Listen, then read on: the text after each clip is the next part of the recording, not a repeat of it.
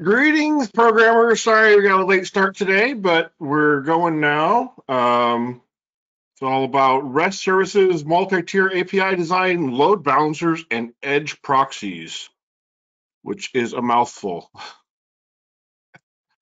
Yeah.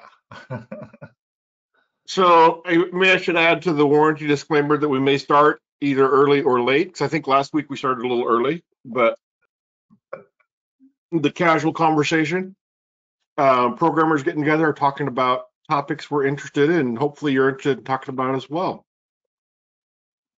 Upcoming tea, coffee, and code sessions, we have the unit testing, integration testing, testing, testing, testing, and more testing and uh, code profiling optimization, which is really kind of more testing. So, yeah, be sure you join us for those. Those will be great ones as well.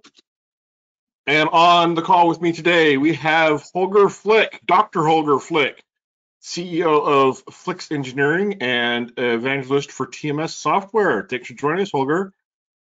Yeah, thanks for the invite, Jim. Always great to be here. Just chatting for two hours about Delphi is always a great topic. Yes, it is. Yes, it is. And Wagner, there he is. Uh, TMS Software Business Product Manager for Aurelius, Xdata, Remote DB, and also you can find him on landgraf.dev, where he has training courses and his Delphi blog. How are you doing, Hi, Wagner? Hi guys. Hey, How hey. Good, good.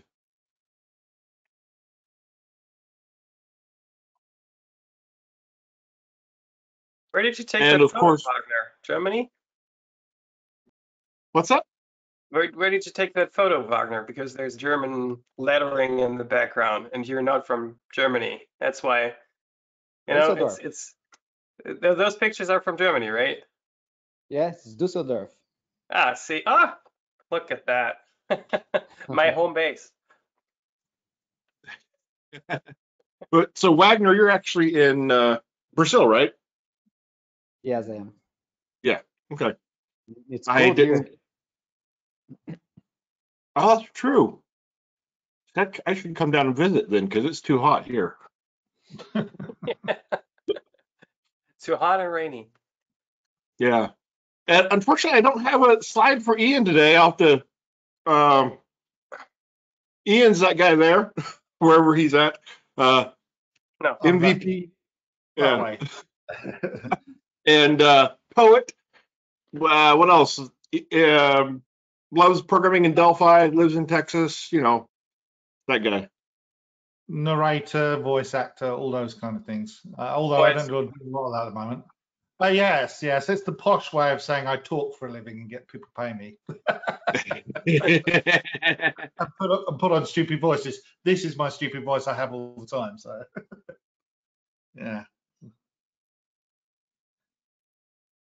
Um, all right, so grab your beverage and uh, let's have a conversation. Second here.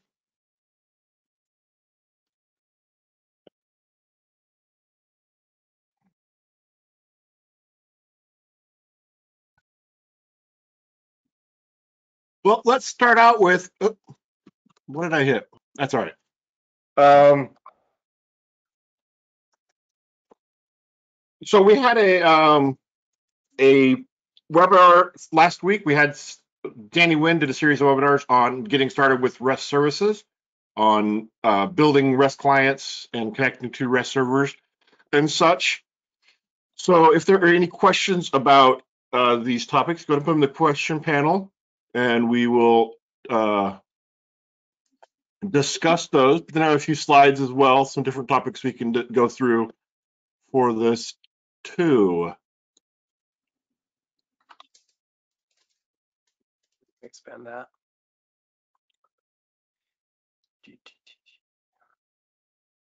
So REST is representational state transfer. It's a so it's interesting. It, REST is not a protocol. It is a description of how the pro, how a uh, how communication happens. It's an interesting differentiation, I think. But it's a it's based on the fundamentals of HTTP, and it is uses the same verbs that HTTP uses for your web browser uses when you connect to a website, and is just a way to transfer data back and forth. So Delphi includes libraries, the REST client and the REST server for client, or includes libraries for both building clients and servers. Um, yeah.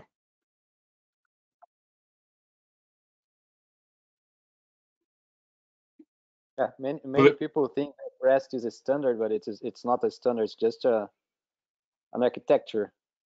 Yes. Yeah, exactly. It and the set- it makes it weird because so we used to use SOAP way back in the day, and it was a standard, but it was too heavyweight. So now we use REST, which isn't a standard, but isn't heavyweight. I'm Yeah, not, what- I'm not uh, sure. I'm, I'm not sure I'd even call it a uh, architecture either. It's more a case of uh, an agreed set of things that happen. I, I think it's a little bit more loose than an architecture. Architecture implies that everyone knows what's going to happen when you do something with REST. I think the only the only real basic um, uh, kind of agreed standards are that you know REST quite often returns JSON and stuff like that. But um, SOAP was much more rigid, really, wasn't it? I mean, it had all sorts of standards attached to what should happen when you had a SOAP server. Yeah, even that, but you, you also find REST service with XML or priority formatting. Like um, I usually also return binary base 64 encoded data through REST interface. But um, there was an interesting point I recently read on Twitter that got me thinking um, from Hadi Hariri. Some people still might know him. He was um, he's, he's in the was a big member in the Delphi community, IntraWeb and Indy and he's with JetBrains now, still doing amazing work there. And uh, he posted, um, he's he's always very sarcastic, and and uh, so he said like, I bet you a beer that uh, all of the 99% of the uh, web APIs that call themselves REST are actually HTTP web APIs and not REST. And that is that is the deciding thing. Like REST has certain principles that Wagner knows probably better than anybody of us that have to be implemented how to communicate using HTTP. And I myself usually take shortcuts and never implement a full REST implementation um, as it should be, because, um, for example, the one thing you see all the time, uh, not to go to, into too much detail, but like Delphi developers always like to have like a method like if something is available, check if something is available. I have a method for that. And then I actually get the resource that I want. And the REST principle states you get the resource and then the status code of your HTTP request actually tells you what's going on. If it's four or three, you're not authorized. If it's four or four, you're trying to request something that isn't there. So you do not actually need to ask is something there or not. You simply just use the uh, um, status codes of the HTTP request. And that is the difference between building an HTTP web API and a REST interface. You know, which you get, for example, if you use um, Xdata, you get like REST. I'd never really thought about that before. That's interesting. Yeah, but it's think about it. It's it's actually true. I, I I was just as stunned as you are right now, probably. But if you think about it, you never really strictly, as long as you didn't use a tool, for example, that converts a database table into, like, for example, RAD Server. I don't just want to mention XData, like RAD Server, same thing. If you publicize a table, a data table from a database, it creates so many things but it doesn't create is the table there, is the record there. It it literally implements a get, a put, a delete. And if you try to delete something that isn't there, you get the status code 404. If you try to delete something and you're not authorized, you get a four one oh four three. That's always where I struggle, Wagner. he knows that kind of stuff.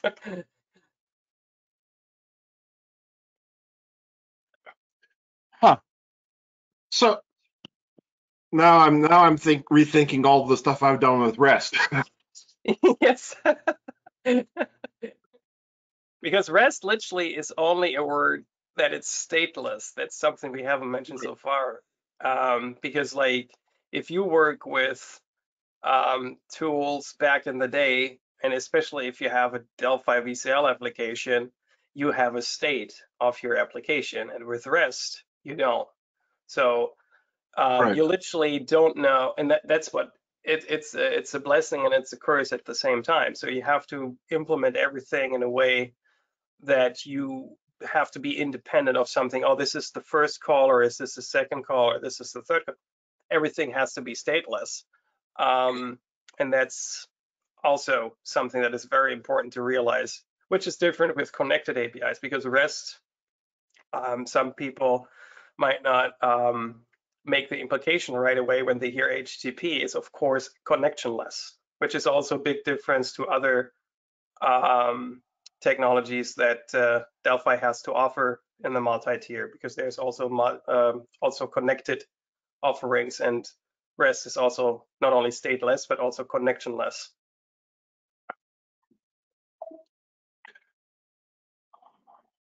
Um, yeah. So now, I, I always wondered about the whole stateless thing with REST because how does that play into? So I guess having a uh, authorization login credentials doesn't violate being stateless, does it? No, but you you have to implement the um, methods to get something that is protected doesn't have to depend on the other method. It has to work even if you do not call the other method. And uh, there's several ways to do that. And tokens are usually is, is the big topic. What is being used right now?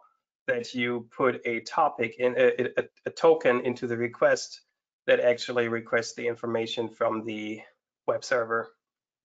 So, and uh, hi, and Hi. the, the the token the token identifies the um, user, and that is something you have to build on the back end yourself, or you have to use a uh, framework that provides the whole um, multi-tenancy for you. But otherwise, you have to implement it all by yourself, and that is something um, that you get with a uh, state-driven framework right right away because you log in, you're logged in, you have the status of being logged in, and this status doesn't exist in the REST server.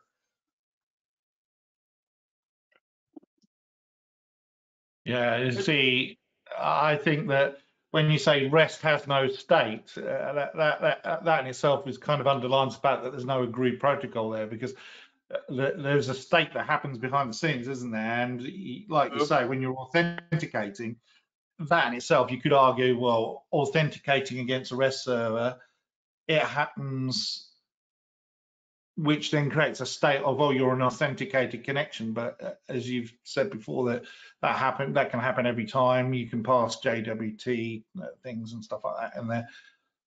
Uh, uh, we we have a REST server that uh, very much has a state because it has to have a state of you are authenticated, and there is a, uh, a kind of uh, level of preparedness in what has to happen in order for the Okay. rest to be Yeah. meaningful. So you know, it's a, and I, and I think that you know, if you said, for example, give me all the employees, uh, and it kind of returns a big you know object that's got a bunch of employees in or some randomness like that. If it, if you're talking, say, a multi-company scenario, which is what we are doing, um, you've also got to say, and for this company, and then you also just have to say, and for this particular logged in user, and also for this particular um, cloud server or whatever it is. So um, whilst REST is is a, a, a non-state state, a non-state state. Does I think, I sense? think I have a pretty pretty I good have a- example. Pretty good example. Like if you log in into one of those non-REST servers, you you log yourself in, and then each follow-up client client request knows that this user that is requesting something is authenticated and authorized for certain things. But with REST, the client, each time another request comes, has to pass in the token over and over and over again. That's just the difference. And thanks for the explanation. That's actually a pretty good one. Of course, if you think of Amazon, for example, when they have their product card, they keep a state of your shopping session on their back end. But as you know, you can switch between different devices and still you keep your shopping cart, you know? And that's because they keep it on the back end and not you on as on the client. Yeah, and I, and I think the uh, the um, someone was commenting on one of the news groups. Oh, well, well done for correcting the whole. Uh, what did they say? Stateless nonsense, which is a little bit harsh, I think. But what, what you know, I think I think that is a bit harsh because everything you do is context. Everything, you know, like you you know, even the concept of making connection in the first place in order to make REST requests has got a state where you've established a connection. You know, I mean, what what do you call state? It's just it's a meaningless term, really. you know, I think that oh. I agree with you. Everything has a state at some point, but I think Yeah. that the point is that your one request doesn't doesn't have to depend on a previous request. Like Holger said, uh, I, this request will will work if I have performed a request before that I have authenticated. That is a state. So like every every request has to be uh, self-contained, so to speak. And one one way for you to think that the server is stateless enough is if you can uh, scale it. So for example, what happens if you have a server and you launch 10 servers at the same time? Will the client be able to, will your application work if the client connects to any of those clients or does it have to connect to a specific client that you have connected before? So if you can launch 10 or 20 servers and any server can answer the client correctly, then you are uh, uh, stateless enough, so to speak. yeah, the guy Yeah, that so mentioned, either, the, sorry, the guy that mentioned enough. That's a good one. The guy, the guy that mentioned that on the, on the forum is now backpedaling very quickly and apologising in case we all kill him. oh, I, did, I was a bit harsh. yeah, yeah. Too late now. Your name is on the list. We will take revenge. Yes. yeah, I, think it's uh, it's interesting. I mean, REST is for me. I think REST is probably the top. Um, technology that you come across to do anything. It's as simple as that. that. That's the way I look at it. Is it's a way of communicating with uh, with a remote server, and it's a way of representing data with a loose kind of um, uh, agreed standard on which you're going to do things. But of course, with anything exchanging data, you've actually got to have some agreed uh, um, protocol in the background. It's no good saying, "Oh, give me all the list of employees with the the uh, uh, uh, last name beginning with a B if you can't then understand how that list is going to be returned to you and you process it. So of course everything has to have uh, some established protocol and standards, even if the actual mechanism, the rest, you know, get and put and all the rest of it uh, for CRUD, uh, for example, um, uh, is, is stateless. You know, it's the idea is that you can say create a new employee in a database and you don't have to go through a bunch of rigmarole to get to the point where you create that new employee. You, the REST server should have some kind of way of going, okay, I understand what you mean there without you having to set up an ongoing to and fro conversation to actually establish that. And that, that's the benefit of REST. And it's so easy to do. Someone was asking about components for REST and I put a link there for, uh, you know, I'm biased about the blogs, but a link to the um, blogs.embarcadero.com because there are so many examples in there of using the REST debugger, you know, because it's easy to write about. Go into the RAD Studio REST debugger, um, test your, your, your REST server with these things, and it'll create the components for you. You paste them onto your form. That's it. You've written your program, really. I mean, 99% of the program is written for you. And uh, and um, if you then use that low code wizard as well, well, we're all all out of a job shortly. So never mind. One strong point of Delphi I would like to mention because um, you mentioned the uh, REST components that are rather new, not that new anymore in in Delphi. But um, there's one component in there um, that I found useful in particular when I got started with REST and Delphi is the there is an adapter in there that you can hook up your response of a web service to a data set. So you can still use your TDataSource and hook your result set from a web service into um, into your existing TDataSource architecture, which is very well, which is very good for browsing. It's not so much good for I don't think there is that much of support for um, updating the data. That's when you have to look into other stuff from um, third party or Embarcadero that writes that kind of stuff. But in order to get data from a web service um, and then get access to it um, with with uh, known things like TDataSet, T data source, um, Delphi offers great components, and that's how I got started. I mean, this is this is also something um, I, I see in the community that uh, when when people get started with things, I say like, hey, take this weather service and just try to get the weather for your location where you're at right now. And uh, I immediately get the response, well, that won't help me to get my employee multi-tier database up and running with web service. I said, start slow, get comfortable with REST debugger, as Ian just said, learn about how, how it works with the request, with the response. And even though somebody mentioned now, um, oh, there's HTTP that is that is connection uh, based. Well, that might be, but REST, you have a request and you get a response. That's how it works. I have not heard so far of anything that is connection based so far. No, no, that, that's that's the point, isn't it? And I, I mean, um, there's a couple of questions here about payloads. Um, please tell us also about payloads inside REST request and response. Well, you know, it, it really depends on what your use case is. And I, I, have a REST server that sends back encrypted packets of, of payload. So there's a, a, header in the JSON object, and uh, they are literally, you know, I'm just using a JSON object and using the JSON library that comes with Delphi. And uh, and then one of the JSON objects is a binary object. It's got a bunch of data in there that's encrypted. Um, and there's a token in there so that it, you know, it knows what private and public key pair have been used to to uh, encrypt things. Um, and that's a payload because that payload is actually a licensing payload. It's saying what parts of this particular product are activated and what parts are enabled for this particular user. So we obviously don't want someone to be able to uh, just read that by going, oh, I'll just connect up with the REST debugger and test what the rest, you know, they the, the licensing service returns back as a REST request. But we do want to make it simple enough that a web page can do it if necessary. I mean, we don't, but or um, uh, a, uh, a, Delphi program or or a mobile program. They can all talk to it and they can all decrypt that JSON package, and that, that's uh, what the payload does there.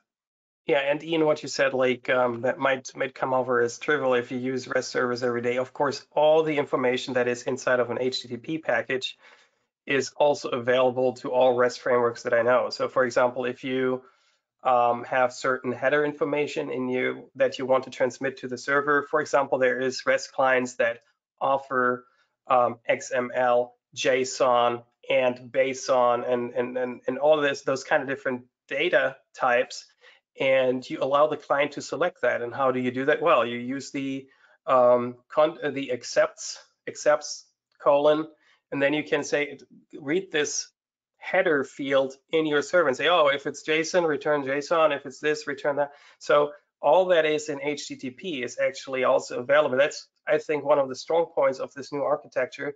You don't reinvent the wheel. Instead, you base all this stuff on existing well-known theories.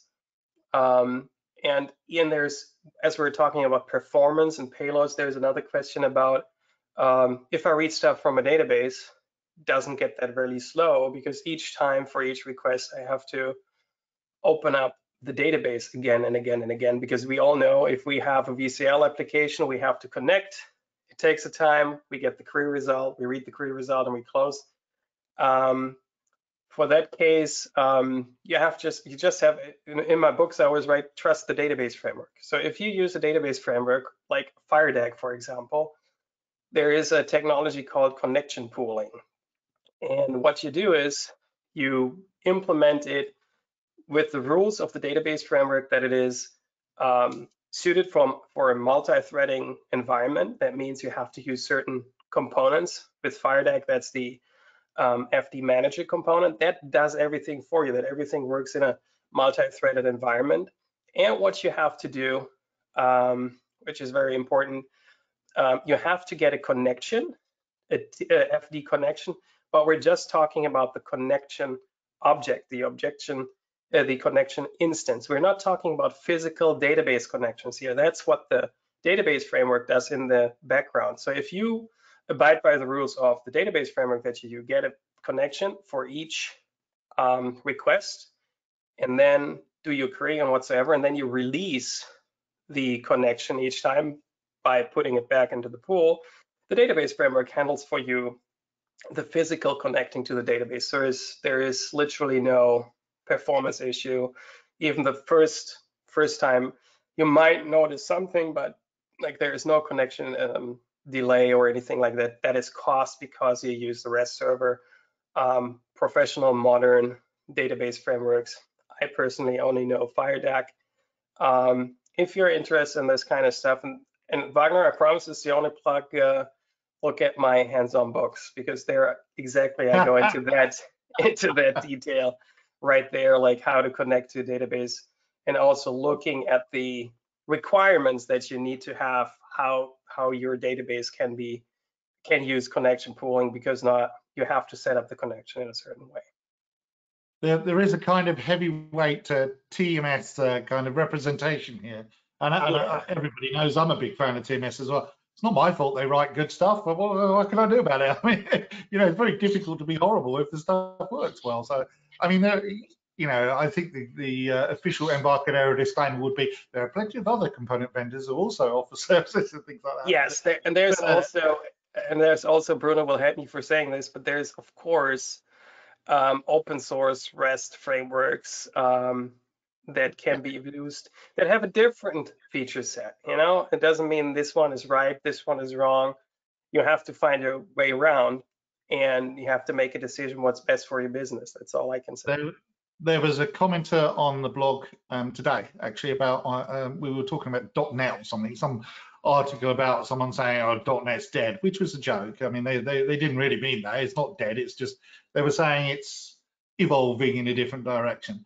And uh, one of the things they were saying was that, oh, with the community edition, you know, there would be much greater uptake if it was much more powerful and uh, and uh, I I think open source was the way to go, um, which is fine. And as I pointed out to them, that's absolutely fine. There's nothing wrong with that. But you know, if you're going to go down the open source route with a com commercial library like uh, the TMS staff and, and, some of the other people as well, um, you know, you're getting uh, some added value in there. If you can find a free open source library that does exactly what the commercial library does, then why would you not use the open source library? Well, there are some reasons, like you know, you might want uh, commercial grade support that might not be available in open source. It may be that you prefer to have someone to blame. Uh, you know, if it's a if it's a commercial product and something goes wrong with the commercial product, you want to be able to go back to the the vendor and say, this does not work. I need it fixed this afternoon at 3 p.m. or we're going to sue you back to the Stone Age.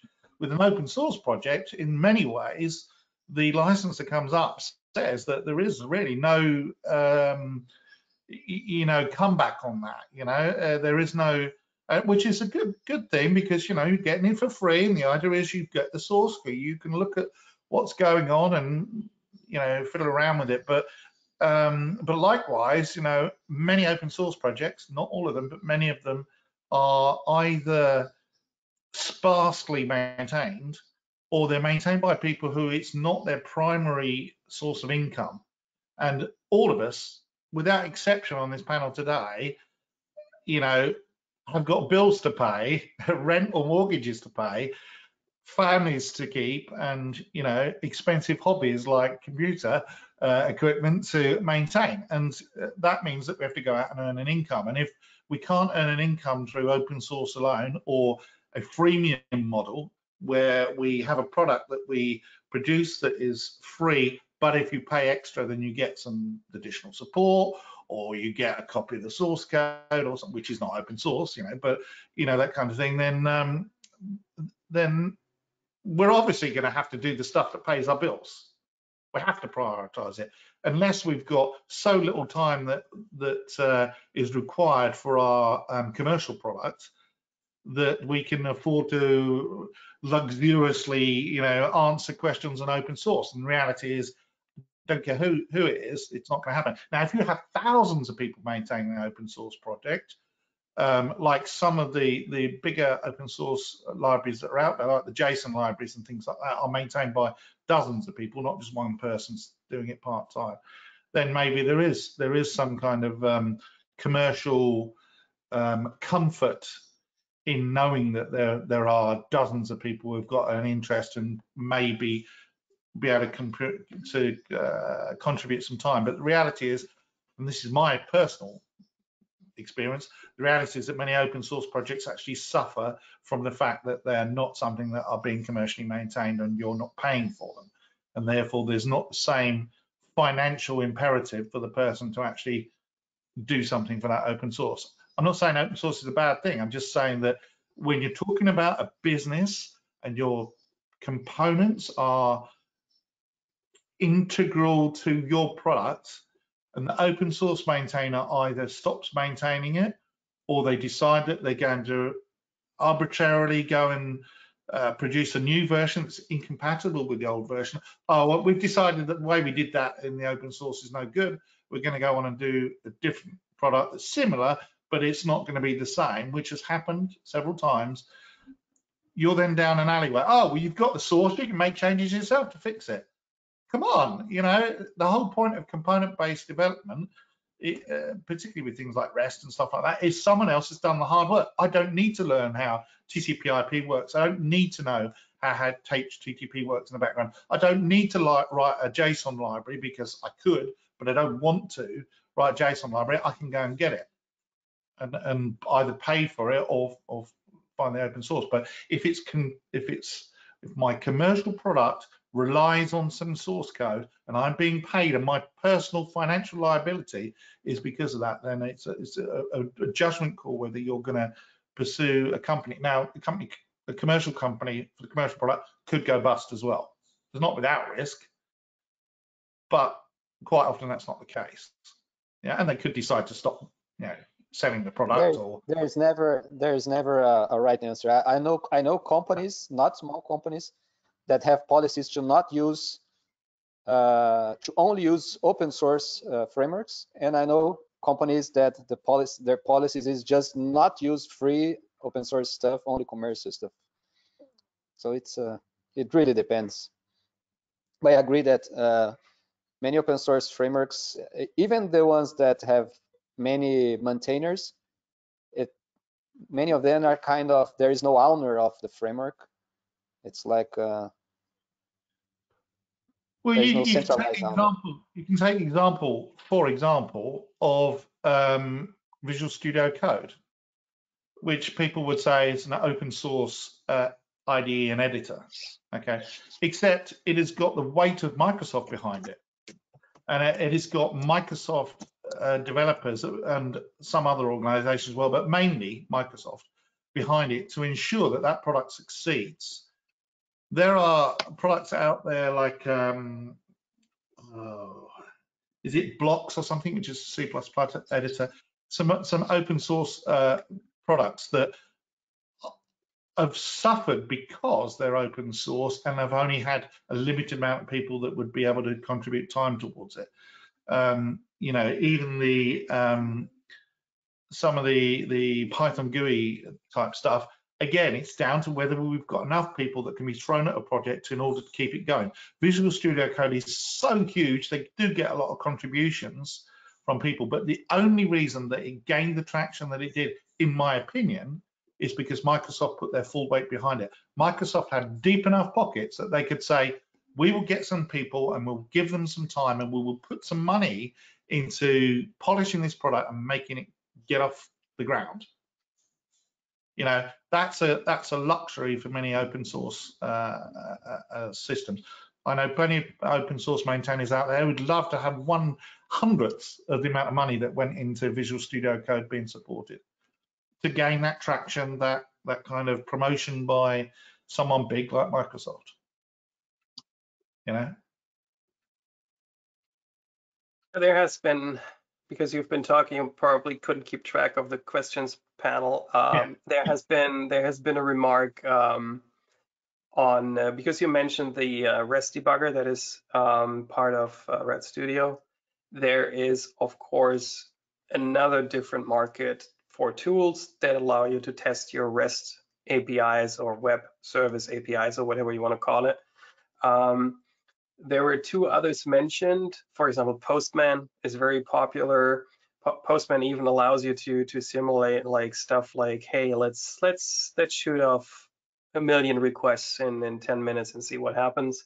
So if And you there is a nice one for Visual Studio Code as well. Yes, and uh, I use myself Telerik Fiddler. Um, I used it even before when the company was different. I would say that's how old I am. I even though it without the Telerik in front of it.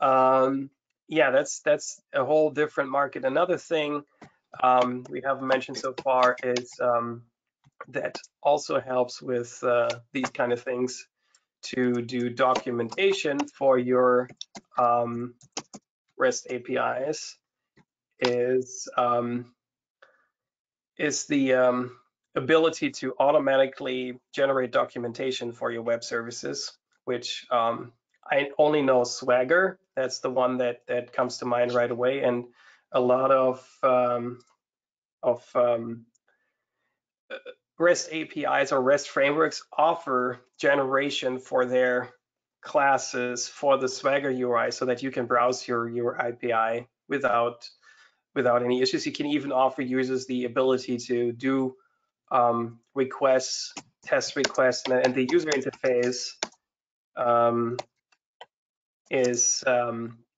is automatically generated. It's and uh, I don't know about the. I think other frameworks have it as well. I know that XData has that kind of generation in there that if you have defined your service methods, your service requests, that um, you automatically out of the box get the Swagger UI. Um, and that allows you to cooperate with other developers. You, you talk the same language. And uh, I think I don't want to drive the discussion here, Ian, um, but I'm quite sure we sh should also go to the uh, very obvious thing that we have mentioned so far is because you use REST APIs and JSON as a format, you don't limit yourself to any programming language, to any device. It's it's the world is the limit, as I always say. Yeah, sorry, I muted myself as I was typing. Yeah, there's a lot of questions about um, authentication and authorization. And people saying, oh, what about auth and OAuth and all the rest of it? And um, uh, some Don Pot said socket client slash server. Well, yeah, I mean, you know, there there are a lot of protocols out there for communicating things, you, you know, that we've talked about in the past as well. But um, Stomp and a few few other um, technologies.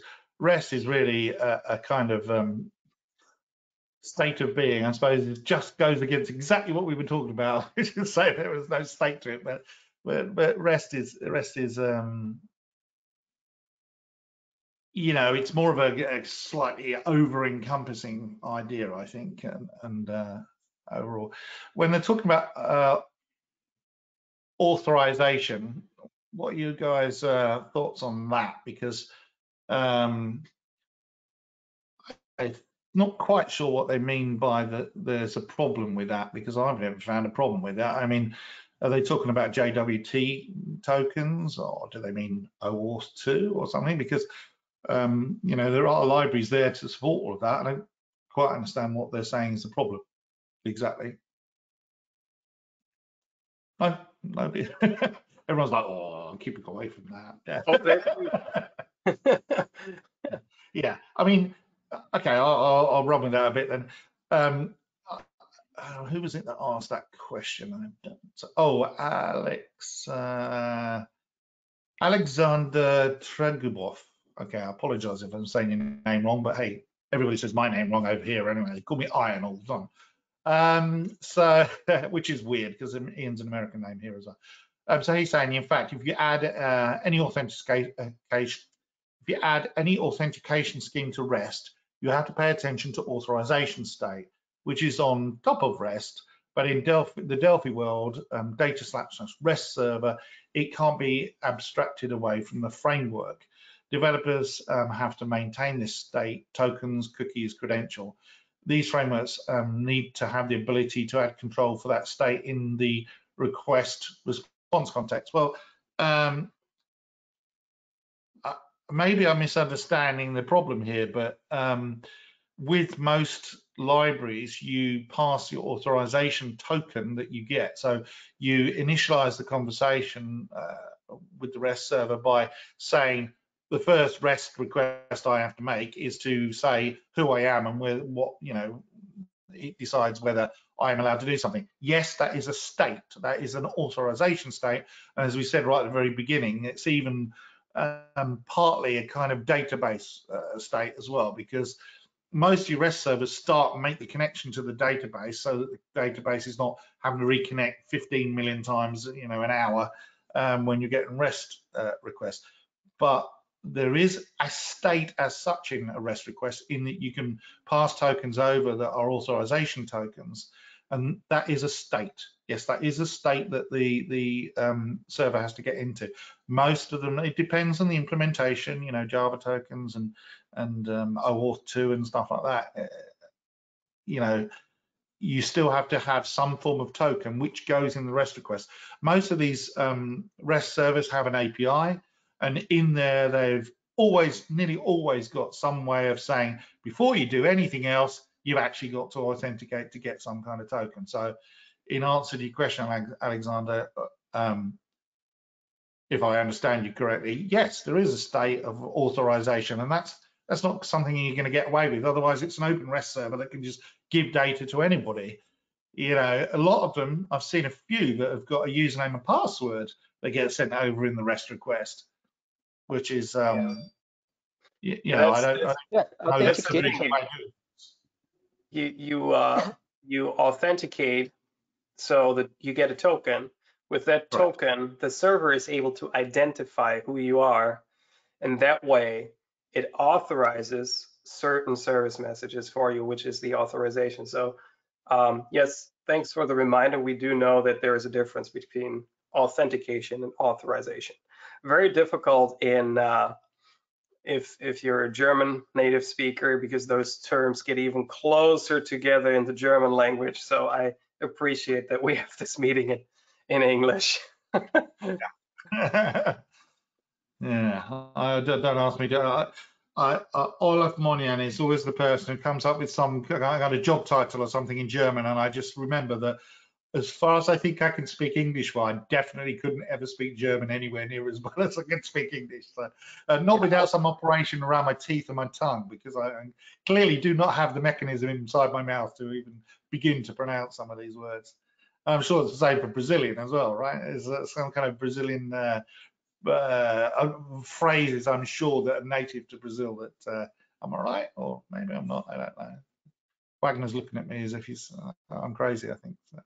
And uh, as as Ian tried to say, authentication also depends on the framework that you use, how difficult it is. Like, um, uh, this is the just for example, if you need to, I I wrote and and these these videos are available for free. They're all using Delphi components.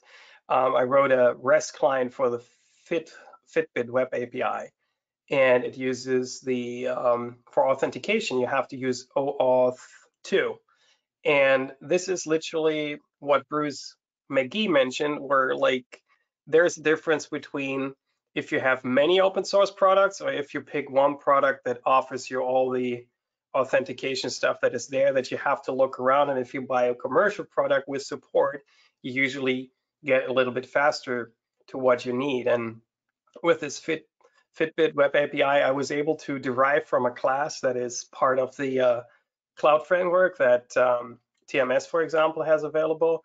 So the OAuth is literally implementing two or three methods and it's done and you don't have to deal with anything you know and then you have your then you're authenticated for your client and uh, if you uh, want to do a certain implementation on the server side i'm quite sure that the different um, server offerings have means for example wagner's solution always uses um, the term middleware where you can put certain functionality into the server and he uses the term middleware for that. So you add certain modules to your server that gives it certain capabilities. For example, JWT is a middleware that you literally drag and drop into your component and boom, you have JWT support. You just then, of course, need to supply the events that then hook into your database or whatever in order to do the authorization and authentication for both.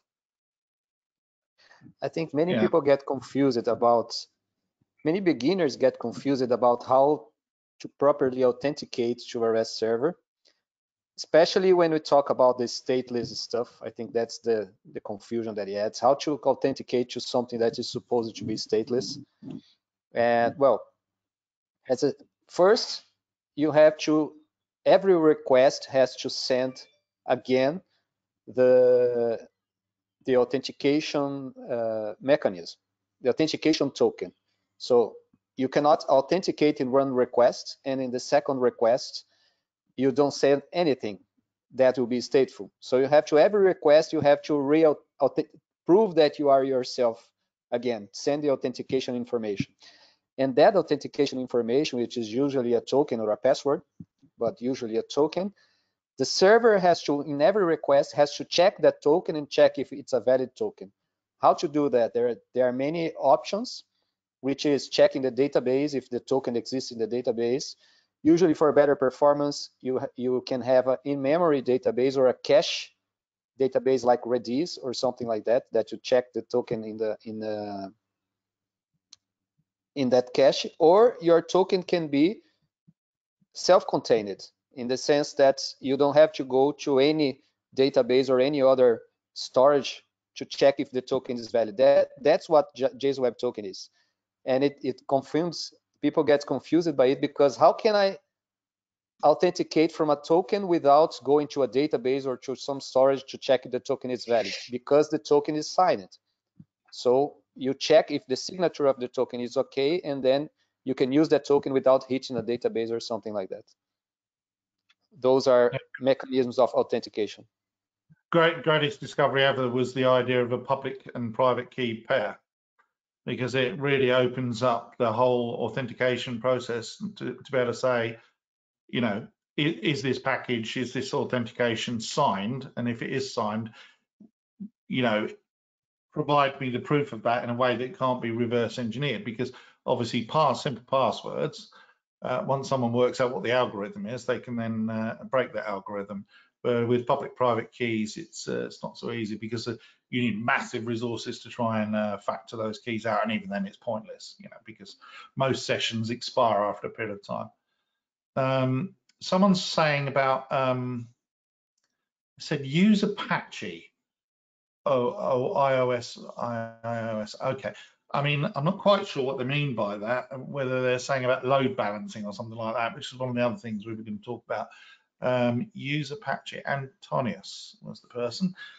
Um, the in my experience, the biggest load balancing or the one of the best load balancing and easiest to configure um, web services, if, if, that's what you're going to use in the background, um, is in Nginx. Um, it, it's very, very easy to configure reverse proxies. Um, it's the config file is nice and small and load balancing with it is absolutely simple to do. Um, when it starts to get tricky is if you've got behind there a Delphi server sitting in the background trying to receive um, uh, transactions and have them uh, load balanced uh, in the background. And it That's... is spelled NG INX because with Nginx, I would have never found it. Yeah, so it's Nginx. Yeah, I, I, I, built a, I built a slide with some edge, edge proxies. Do we have access to the slides there, Ian? Uh, I don't yes. actually, no, weirdly enough. um, Jim, Jim's got them. Um, He'll probably, I mean, we'll put them in the um, the chat at some point, but uh, right now, no, we don't have it. Handouts. Oh, wait, hang on. Handouts. Yes. Um, the handouts are actually just two PDFs. No, he's he's not put the uh, slides in there. Well, normally, I get access to the slides as well, but uh, we're kind of a little bit um, up in the air about. Slides are in there. Oh, there he is. They're in there. They're in there. Uh, The uh, REST servers multi-tier one is the slides. Oh, okay. All right. Yeah. Well, there you go. Um, if uh, what was it, uh, Holger that asked about the slides? No, someone just asked about slides. Uh, the answer is they're in the in the handouts on the thing. Um, someone also asked about replays as well. Yes. Uh, there is always, if you go to the social media on Twitter, uh, on the Embarcadero YouTube channel, um, and on the blogs and uh, Facebook and LinkedIn, we're absolutely uh, Embarcadero's everywhere then the replays will be there. Don't worry, we will make sure you'll get access to it, and you'll probably get an email about it as well. Um, it's uh, super busy. Right, should we go through some other questions, guys? Uh, Jim, you you want to ask any questions as well? Um, Patrick Prematan was um, mentioning some about Bold, for example, um, saying that Bold is now um, open source. Um, if you haven't come across uh, Bold for Delphi before, it's an absolutely great product and the fact it's gone open source is, uh, is, um, is a brilliant uh, development, shall we say. Um, lots of people asking about Holger and your discounts for your books. uh, I will. Is- I, I thankfully I have I don't need to make up an excuse. I, I literally don't have the ability to give out any gift codes or anything like that. The the publisher Hey, the publisher doesn't allow Um, for that. So They're, they're worth every penny anyway, so pay the full price and make the man some money. Yeah. And, I- and I think that's true. You know, that if you look at one of these books and you're paying, you know, I don't know what the price is in, in various people's countries, but at the end of the day, even if it saves you a couple of hours worth of programming, um, because the answer's there in front of you, and even if you just adapt it, you know, why buy the book? In, you know, why do you want the book in the first place if you're saying, oh, I want it nice and cheap? If it's going to be valuable to you, if it's going to teach you something, then it's got to be worth a little. I mean, I'm, I'm, you know, probably biased because I live in the US and I, I work for myself, and so I'm not exactly poor. Um, and perhaps it's okay for me to look from a position of privilege and say, you should pay for what you're, you're using for these books. And you know, people's like um, uh, Alister from uh, LearnDelphi.tv is another guy as well who um, he has some books and he has some courses. You will learn so much from Alister and people like Holger that you know. I think it what the little amount, the relatively small amount that you pay for these things, it's going to repay you in the knowledge you get back from it. So we're not trying to sell people's books, but at the end of the day, that's my opinion on why um, you know it's worth paying a relatively small amount of money. It's less than less than a, meal out with two people. I think is really what it works out to. Um, for reverse proxy, Apache is uh, what they were saying. Okay. Well, reverse proxy again. Um, this is not really on the subject we're talking about, but again, Nginx does reverse proxy with uh, literally one line in the config. It's very very easy. Um, for those of you that are watching and don't understand what reverse proxy does, if you have got a Delphi service and you cannot go to the trouble of making it HTTPS and support HTTPS, um, either because you don't have the components that can uh, implement that protocol, and there are some very, very good articles that tell you how to do that. Um, In my production or- service, I, I like to use Traefik. Yeah. Yeah, and uh, so so let's say if some someone has not got to the point where they've got SSL and TLS implemented, what you can do is have your Delphi program running, uh, opening on a specific port. You can then run Nginx or Apache or whatever, and the Nginx sits between your application and the outside world, and the traffic coming into the web service comes in as HTTPS. It's then converted by Nginx into HTTP, so you don't have to worry about that horrible thing to do with certificates. You do all your answering, you answer back with HTTP, and that is then converted back within Nginx back into HTTPS. Obviously, a different port, port 443 is the, the default and things like that.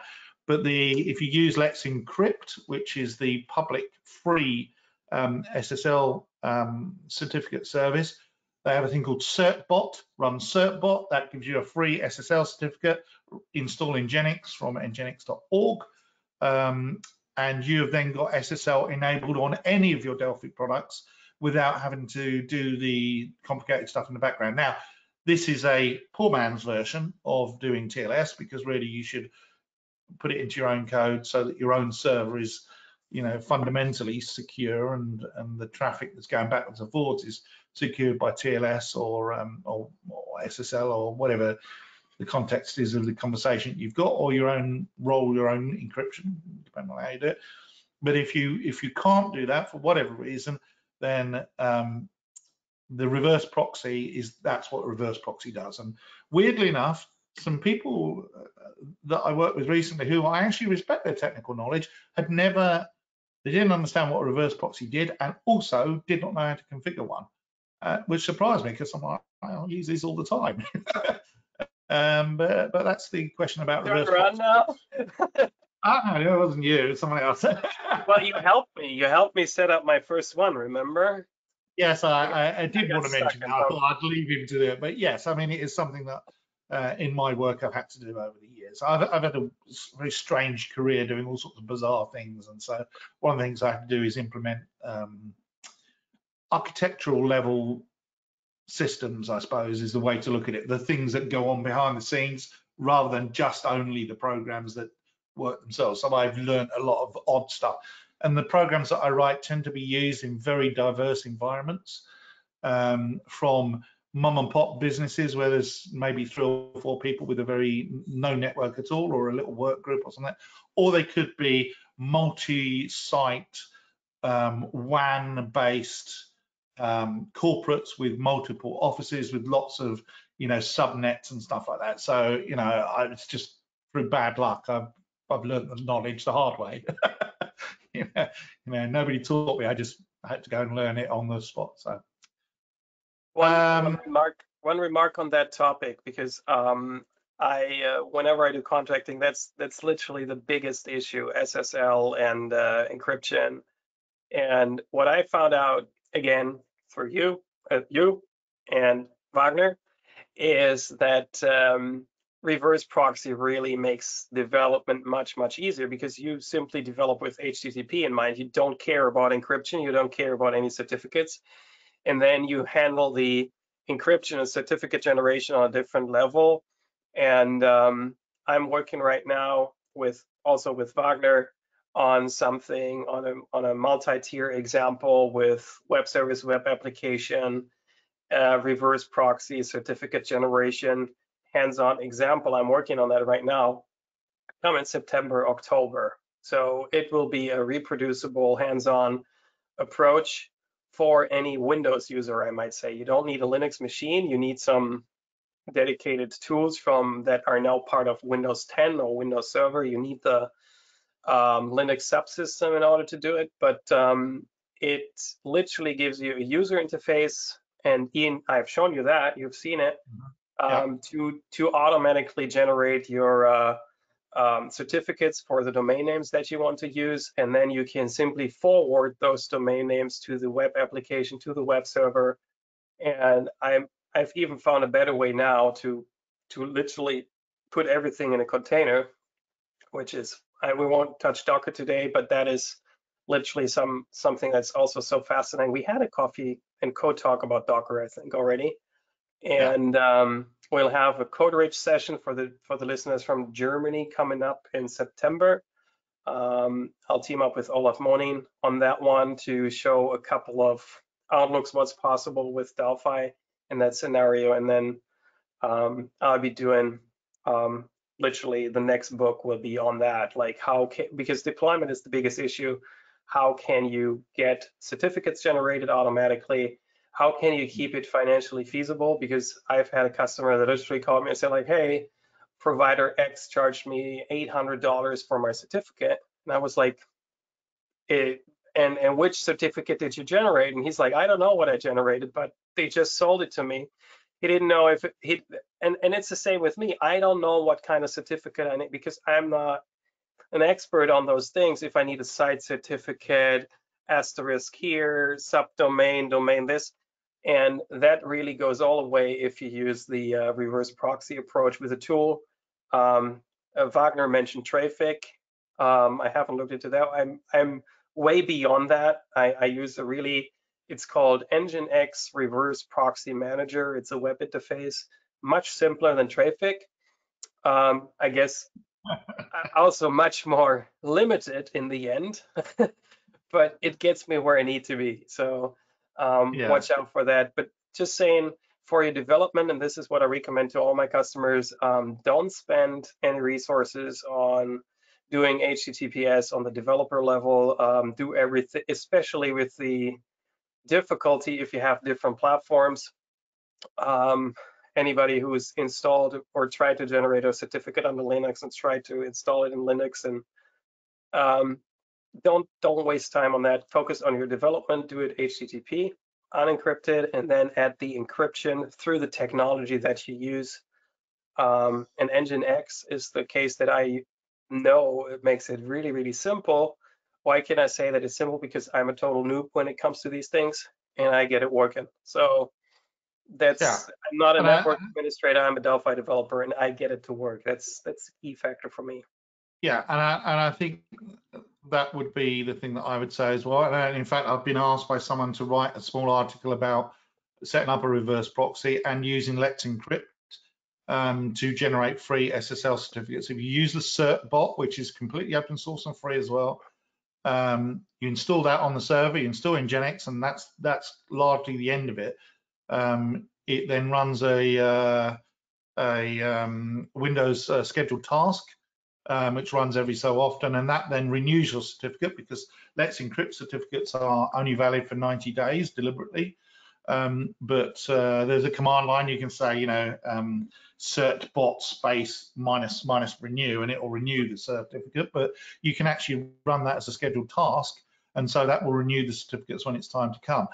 This means that you've got a zero maintenance, zero cost um, uh, reverse proxy with SSL on it that will actually direct traffic anywhere. So you could have uh, an endpoint that says um, uh, my server slash Holger and my server slash Wagner and my server slash Gerhard, and they would actually be routed to completely different applications. So the, the, the three or four of you could actually have your own applications on different ports, no SSL involved, and the Nginx um, reverse proxy would route that traffic to the appropriate um, application just based on, say, a URL or a subdomain URL. Actually, you would need to do some DNS with subdomain, but certainly a slash and then an endpoint like that. Um, so it does all kinds of like routing, and it's very, very easy to use, um, which is which is a good thing. Um, there are some really good articles, and I ought to find find one about creating your own um, uh, make you know making self-signed certificates. I, I did I made a note of it the other day because I was going to post a blog about it. But um, uh, self-signed certificates on Windows is a little bit of a dark art, and you've actually got to know the commands. Well, um, I think it might have been Grijjy or someone like that that posted it that said how to actually get Delphi to uh, generate self-signed certificates. Because if you use SSL or use TLS for your communications behind the scenes for REST or any other um, service, um, you need a certificate to do that. And actually generating a self-signed certificate is a free way of doing it. We should only use it for testing. If you're going to um, deploy a service, a commercial service, then you do need a proper certificate authority authenticated request uh, from someone like VeriSign or I think they're called Comodo now, or Let's Encrypt. And uh, Grijjy's uh, solution was actually very interesting. I think it was Grijjy. I'll, I'll need to check that. I'll post about it at some point. Um, let's. Someone's asking the question here. Um, the question disappeared because someone just answered it. Who was that then? Let's see. Oh, does uh, it was a Wagner that answered it. Uh, hello, Wagner. I know you're in the background there. I think you're muted actually because your keyboard was making a lot of noise. Um, you can unmute if you want. Um, does Let's Encrypt now have a client to automatically renew the certificates for Windows?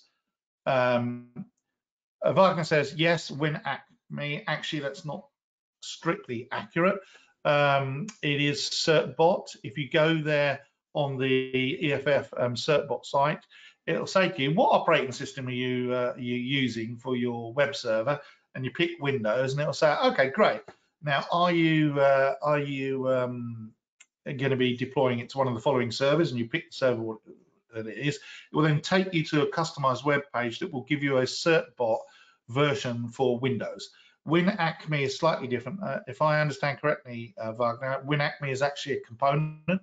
Um, is that right? That's um, that allows you to make certificate requests in your app for Let's Encrypt. So what it does, um, no, um, no, no. Win WinAcme is a tool to renew certificates on Windows.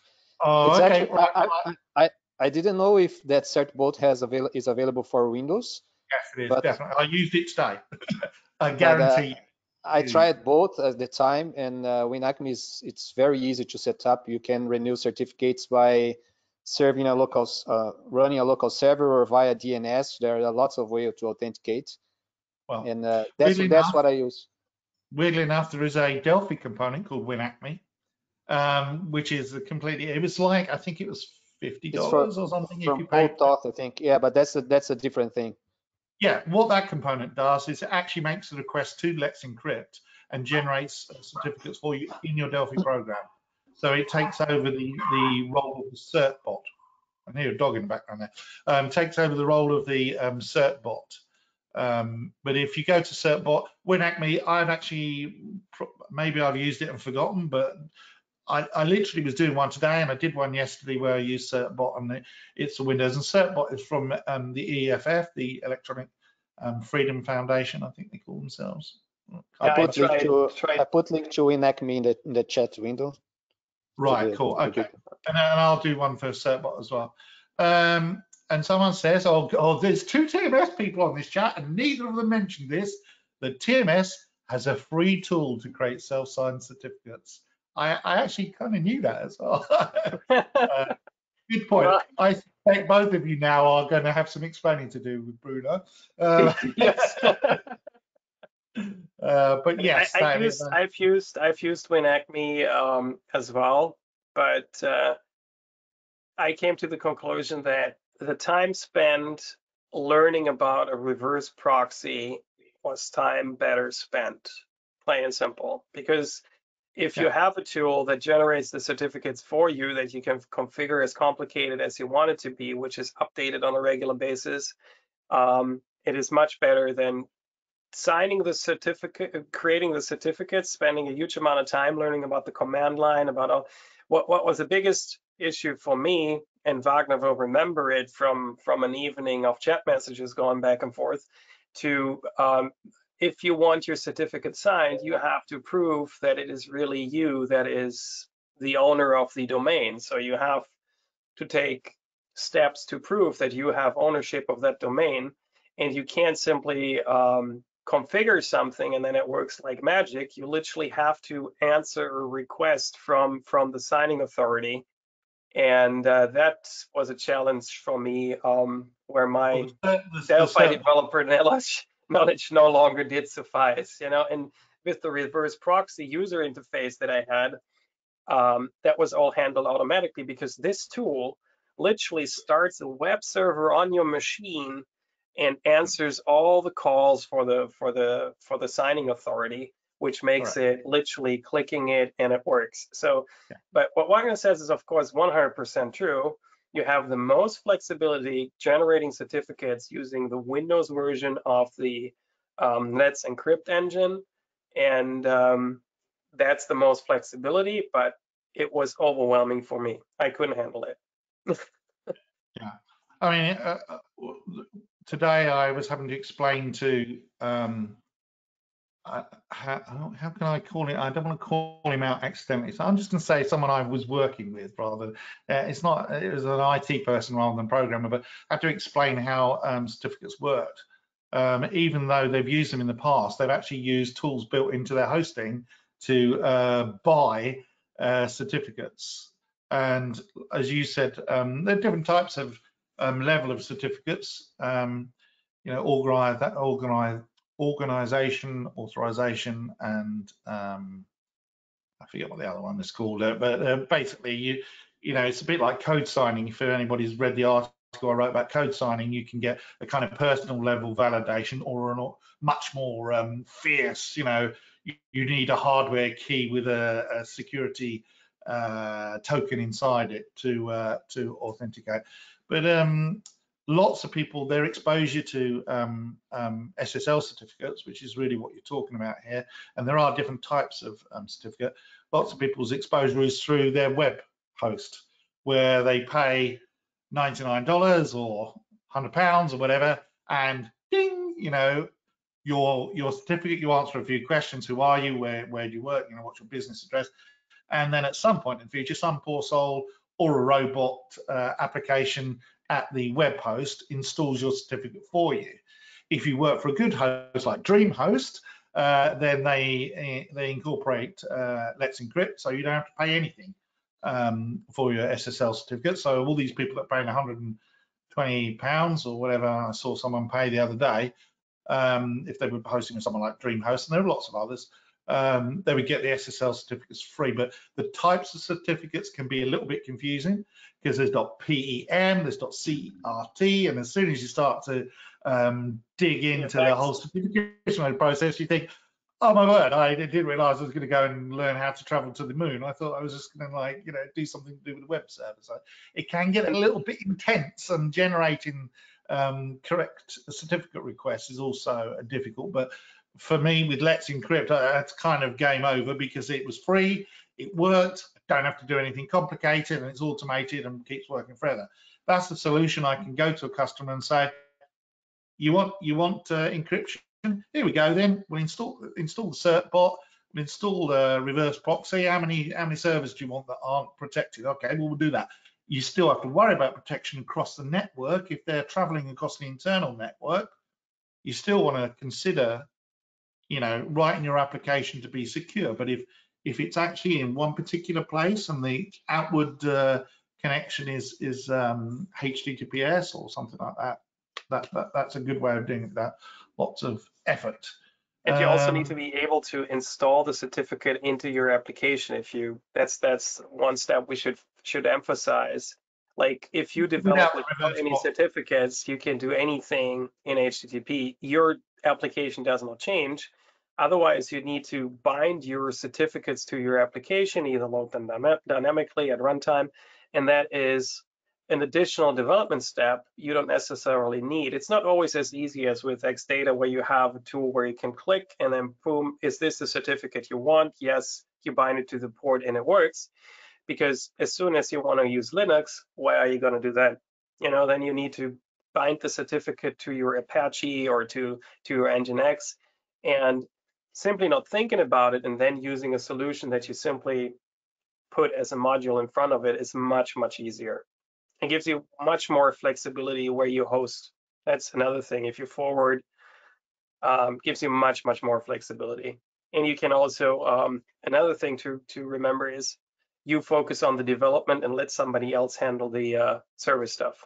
You know, and the developer doesn't have to deal, the developer literally publishes the application to a point that the certificate forwards to, or your, your um, sorry, the reverse proxy forwards to, then you don't need another person that literally deploys the application. You can do that yourself.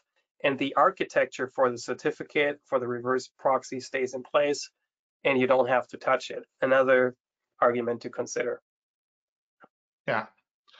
I mean, you know, keeping away from um, the nitty gritty of actually if you're if you're a consultant and you're writing programs for someone else or in my case, I'm writing programs for someone else who then sells them on as a commercial product, um, which happens a lot. I mean, some customers who are internal customers to their sales, but if you're writing a commercial product um, and it's a kind of server component, you really do want to separate the whole certification process away from your app and you want to make it nice and easy as possible. Now, the IntraWeb app. I, was just working on an IntraWeb app um, a couple of days ago, and um, that app can support both. Okay, so if you don't, if you turn, there's a little flag that you can turn off and say I don't care about it being secure, and then it will serve up via HTTPS. But if you, the default is that it's looking for a certificate. Now it's got a default place that it looks for the certificate and the key and the certificate authority um, certificate, but that is how IntraWeb does it. That's baked into the uh, IntraWeb. Is it 15? I forget the versions, but the latest version of it, it, it will um, pick that up and support it in um, Eon. Is that Eon? Eon Gip. I'm not sure how to pronounce your name, but uh, he or she has mentioned that um, A to Z have a free certificate manager as well that works with Let's Encrypt. So um, with the IntraWeb stuff that I did, um, we decided that we didn't really want to get involved with the whole certification thing for customers because they're corporate customers. And usually what we discovered that the bigger the organization and the more department heads that they have, the more meetings they have about stupid things like getting a certificate, and then more purchasing departments are involved where they have to have purchase orders, and then someone else has to have a meeting about who's the person to be in charge of the purchase order, to be in charge of actually uh, getting the certificate because it costs money, and then there's someone else who actually has to go and buy that certificate. And by the time you finish, there's a game of these silly whispers where something comes back and it's the wrong thing. So what we wanted to do was be able to give them the ability to either say, well, here's a free version of Let's Encrypt, but if you want your corporate SSL certificate, then you can put it here and it will pick it up. And uh, that then secured a REST server, which because it is partly a REST server, and it also secured a um, a custom server that, that, does a custom protocol in the background um, with Stomp actually as well in the background. And um, you know that that was kind of our business modeling behind that that we didn't want people to to um, be a blocker to us saying we've delivered the product and you're ready to go with it. If they if they then can't uh, purchase their SSL certificate, that shouldn't be a reason for us not to get paid. So it's a it's a commercial um, consideration for you. Um, WinAcme is installed in the same Windows Apache machine, later WinAcme puts a file in the website file path, and that's how they invalidate. Okay, well, uh, that's from uh, Jorge uh, and Media. Um, actually, that's with Certbot, that's not quite true. With Certbot, what you do is you can specify quite a lot of the information. So maybe this is the difference between WinAcme and Certbot. With Certbot, you can say where you want those um, certificates and keys to be created, and they can be on a network share or they can be on something else because they're just files that get created you'll then your applications can then point to where those certificates are.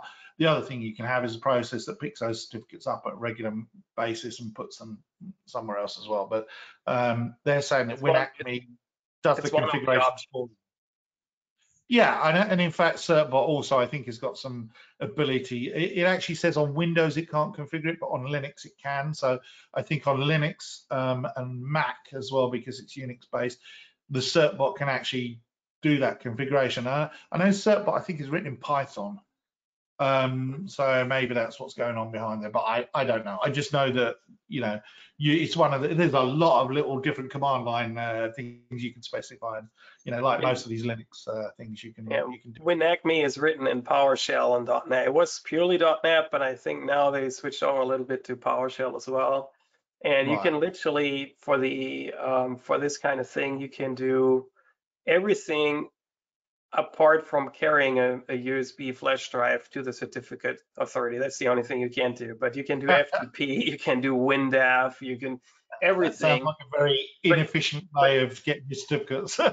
yeah, but as, as yeah, Ian said, yeah, but as Ian said, like that, that's my dad's approach all the time. Can't I just copy it and, and bring it to them, drop it off? I show them by my ID um, no, uh, seriously, again, like don't underestimate what Ian said, the um, file formats, because you sometimes get file, file format A and you need B, and then you need to convert from A to B, and it's a major hassle. And then something that we haven't mentioned so far at all is there is a public key and a private key. And the private key is, of course, secret, and the public key is what you need to um, publish, and then sometimes you have a problem to extract the private key from the from the from the whole key file, and then you only need the public key. At some places you need both. You need to combine it. Sometimes it's in separate files. Sometimes it's in the same file. So, and then each file can have different encryption algorithms, and not each encryption algorithm is accepted by each encryption uh, authority. And then if you generate, and this is what happened to the customer, let's say you request um, a, a, um, a certificate from a certain Windows machine, and then want to continue developing on another Windows machine, and then the certificate doesn't work, you can't access the certificate because it's stored in the certificate storage of the other machine. So how do you copy it from A to B? You most of the time you can't because you have a different fingerprint. Then you are a different person if you don't use some some Microsoft account that makes you the same person on all your computers. So this is all very very complicated. And Comodo, um, Comodo has a real problem with that as well because they do um, code signing certificates, which are very similar but not the same. And uh, with their code signing certificates, it's hilarious because the instructions say open Internet Explorer, and you can then export the uh, the certificate from. And this was last year. I, I renewed my code signing last year. Export it from Internet Explorer. It does not work on any other browser. I haven't seen their their current uh, instructions, but I can't wait to see what happens because Internet Explorer is no more. So I'm Mhm. guessing Edge or Firefox um, might do it, but they did used to say that this will not work with Chrome or Firefox. So uh, you know, there's a little bit of a kind of uh, the whole operating system needs to catch up with the uh, the commercial uh, certificate process. Yeah, Um, and well, also to I'm find gonna, the um, certificate where it is, right? Like sometimes it's in the browser, sometimes it's in the Windows storage, so you don't really know where it is. And then if you import Yeah. it, how to import it correctly, Well, Ma- and it's a Max, mess. If, Macs have a keychain, uh, which is a great idea. Macintosh, uh, and in fact, iOS uh, developer certificates and stuff like that are a, a law unto themselves. I just had an absolute nightmare last week with um, certificates expiring and stuff. Always the same, but trying to get extract those, it's it's um, Mhm. it's, it's, it's painful. Anyway, um, just to change the subject just a little bit because we're getting towards the end of some time. Um, someone asked about um, could we have some more information on multi-tiered applications and API design? If only we had a couple of people here who know a lot about multi-tier applications. Over the, to the two TMS guys. Where's where's uh, where's Wagner? Oh, he's Wagner. Your screen's gone black. I hope you're still here. He, he, I think he got a phone call or something. Oh, okay. It's not suddenly nighttime there or something. Powers off. yeah, he's the man for um, multi-tier. Um, Yes, he- he- yeah, he, so I uh, think um, the question there is really a sort of broad um, discussion about multi-tiered. Um, if we talk briefly about, um, um, you know, the Embarcadero server um, type technology and how that sits in the middle and reset. I mean, anybody that's ever used PA server, for example, has, has um, used the uh, the servers there, the server technology. But I think um, they're also saying, I mean, they're saying RAD server, which is exactly what I'm talking about. So RAD server, it's also called a few other things as well. But um, where do they, it says, where do they, what do I do to read more about two-factor authentication in use with RAD server? I actually don't know the answer. Um, maybe Jim will know the answer to that. I think he's still around in the background somewhere. Um, that's one to look up on because I, I simply don't know. I haven't used RAD server enough. Um, I know There isn't, as far as I know, there's not any component specifically for that in RAD server, but two-factor authentication is just using a second factor for authentication besides passwords. Um, So they could So put in could- a custom. They could put in a custom um, hook and say on authenticate. Then they they need to come up with some token or something. Is that what you're saying? What- yeah, so if you had a, you use the password, the RAD server has the user management password built in. But Yeah. then I guess if you would have to do like a, uh, a code, or code generator for one-time password, which there are components and libraries for Delphi to do that, but I'm trying to think how you would integrate that into RAD server. So that's an interesting question. Yeah, I'm not really sure on that. You, you could do it as a, this goes back to the whole stateless, whether you uh, generated your token or not, I guess. I'm not sure. Good question. Yeah. Yeah. Okay. So I think we're going to say we're not sure. We have to have a think about that. yeah. I, I mean, RAD server is, is, is the kind of official Embarcadero middleware. There are lots of others, and um, these two guys, uh, uh, Wagner and uh, Holger, I'm sure have some input on that. Um, and Gerhard, I'm not sure what your experience is with um, uh, middleware. Middleware is, uh, I, I had someone ask me what they were talking about this uh, cloud server they wanted to implement, and they had a problem that they were having everything monolithic. It was all on one machine, and they wanted to make it so that they could have a diverse um, setup where they would have multiple machines connecting to a database. Um, but then they started saying, well, what if we have n number of machines connected? Um, you know, we want to look at load balancing and we want to look at this and that. But also, we want to we, we don't want to have a MySQL server sitting there um, we might want to change it so that we have a um, PostgreSQL, uh, PostgreSQL, PostgreSQL, yeah, Postgres uh, server um, uh, in the background. And in fact, um, that was the direction they went. They had MySQL or Postgres, and you could pick it at the installation. The way they did that was the middleware had a data abstraction layer, which is the way you should be doing things anyway, talking to a data abstraction and the data abstraction would then talk to a specific implementation. So if you chose to have um, the MySQL um, version, it would run a, another middleware server. So there's a middleware with a middleware that talked to the MySQL. Okay, but the for the the middleware that was actually talking to that second part of the middleware was all just interfaces. It was just a standardized interface. And as long as your middleware for MySQL and your middleware for PostgreSQL um, use those I interface objects, um, it worked and it was a great solution. It was very effective. The actual uh, middleware server implementation they used was a custom rolled one. Um, you know, they, they decided to go that direction, but they could have used something like XData, um, plug for TMS there. Ching, Bruno, send me some money. And uh, I'm, I'm kidding. And um, and uh, any of the other implementations. There are a lot out there. Um, and if you look around, there are open source ones as well. Um, and if you want examples, I have to do it, Ian, one more time, and that's it. Like it. because I haven't gotten, we've gotten concrete questions like about um, where can I get an example about um, authentication, authorization, working with databases. So this is the the tiniest book I have written. That's that's the number one. That's that's the one where you get an example with a huge database, eight million uh, eight million records. You learn how to build REST JSON server and reporting. That is, um, and, and the question was pretty direct. Is it is it directed at TMS? Yes, because that's the reason why TMS the logo is on here. Um, it uses their XData framework from Wagner and it uses their web technology.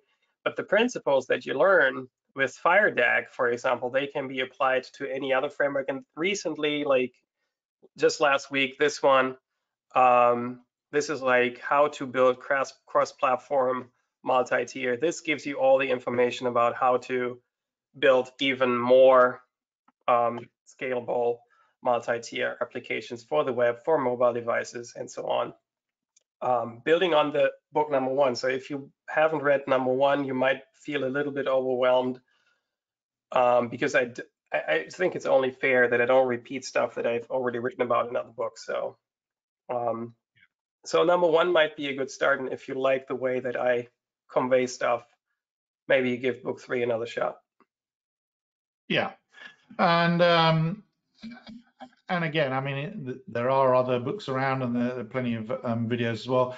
But uh, you know, we've got the author here of that book, which happens to be relevant. So that, why else would we ask them on? You know, unless it's got some relevance to it.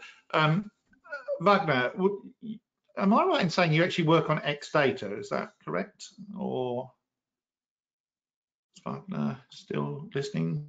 Hello. Uh, Ian, uh, there is a you know on your uh, when you create create your DataSnap server, uh, you get one server component. But I mean, you can add uh, as many server components as you like, and they can even connect to different databases and you can fracture your queries into these different servers and you can use the same DataSnap server.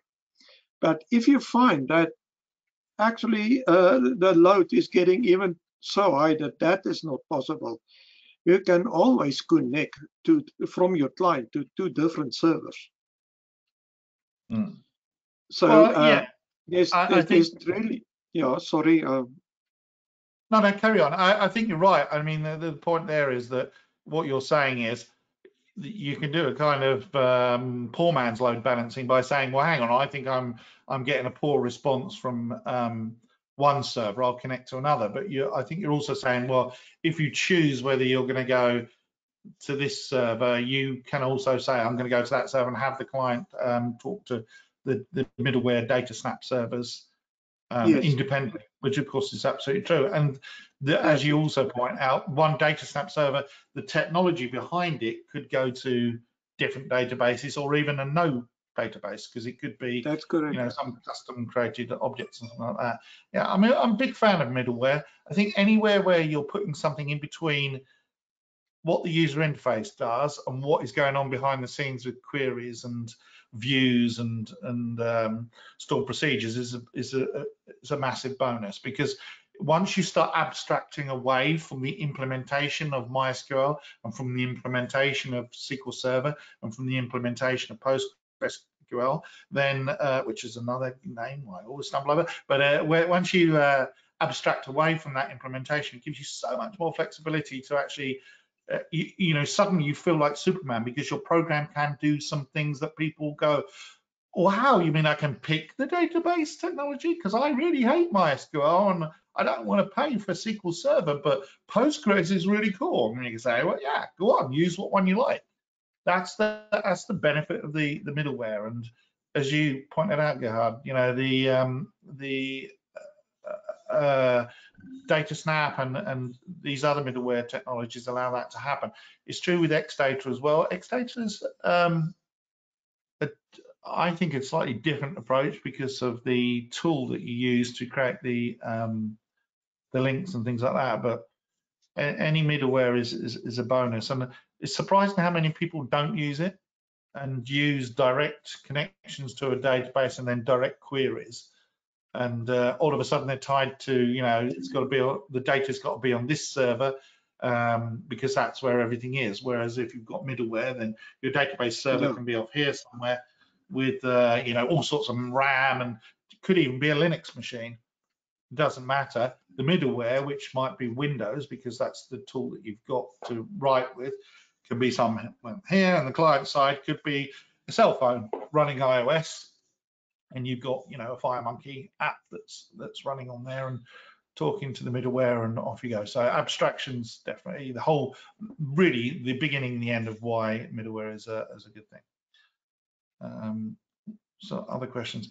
Oh, someone asking, can we do live coding sessions, Jim? Uh, I'm mentioning this uh, quite a lot. Yes, actually, I do have plans to introduce a new stream doing that, but uh, putting some stuff together for that. So yeah, it'll be coming soon. Uh, stay tuned to blogs.embarcadero.com. We'll have some uh, details on that.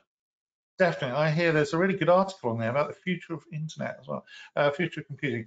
Um, joking.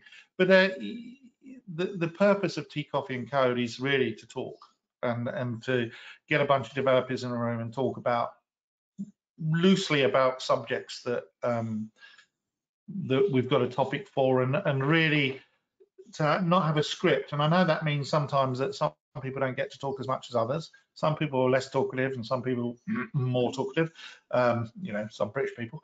So uh, it just depends on the personality of the people. But really, the response we have had back from people about the tea, coffee, and code sessions sessions has been very positive.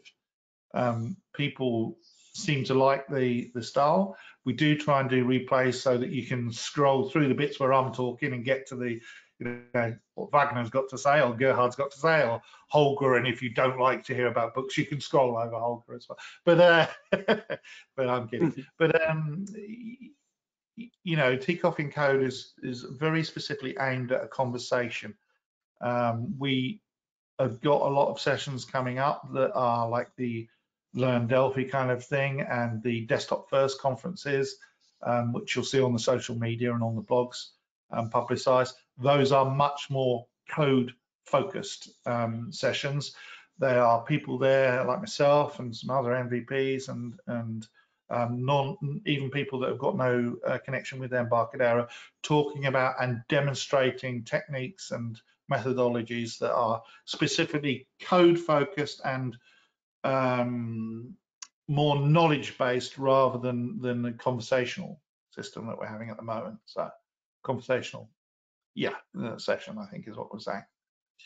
So For, uh, uh, and for other uh, people, I've added some useful tips, tricks, and traps in the slides on the middleware.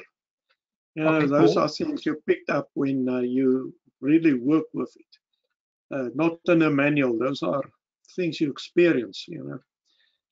Yeah, and I think that, that that's the benefit of having the MVPs on here and having uh, people on here that, you know, the questions are very useful because they give us some guidance on things that people don't necessarily know. We think, oh, really? You didn't know that? Well, we thought everybody knew this, you know, but uh, but the tips and tricks from from you know some of us that are not quite 21 anymore. And uh, Gerhard, I'm sure you're really only 21. You've just lived a very hard life. Uh, but um, but some of the, some of us that are a little bit uh, um, older have obviously been through the the loop a few times. We've made a lot of mistakes. I'm not saying that we know the answers because we were good. It could be we know the answers because we screwed it up and we know what went wrong. So you know, don't don't be uh, don't be fooled here. It's, it's it's not necessarily the knowledge of the the genius uh, intelligenta. You know, it's it's also down to uh, hard experience the bad way. We've all had bad Yeah. days. That's why we all drink a lot of coffee. you know, it, it happens a lot. Uh, oh, and it still does. you know.